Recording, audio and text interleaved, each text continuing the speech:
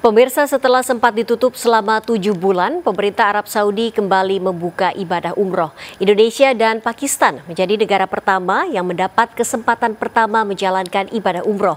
360 jamaah umroh Indonesia minggu pagi diterbangkan ke Arab Saudi.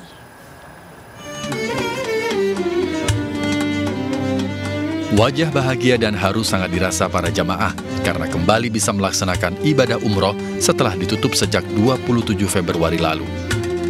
Minggu pagi, sebanyak 360 jamaah siap diberangkatkan ke Arab Saudi untuk melaksanakan ibadah umroh. Indonesia dan Pakistan menjadi negara pertama yang dapat kembali menjalankan ibadah umroh. Sejumlah protokol kesehatan telah dijalankan oleh seluruh jamaah, seperti melakukan swab test, proses karantina, serta menggunakan masker dan membawa hand sanitizer.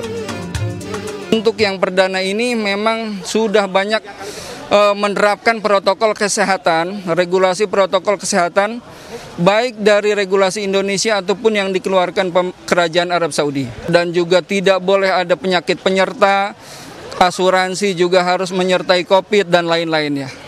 Atau Kerajaan Arab Saudi memberikan kuota eh, sebanyak 20 ribu dan 10 ribu untuk luar Saudi, termasuk Indonesia. Dan insya Allah Indonesia mendapatkan kuota sekitar 7 700 sampai 1000 per hari.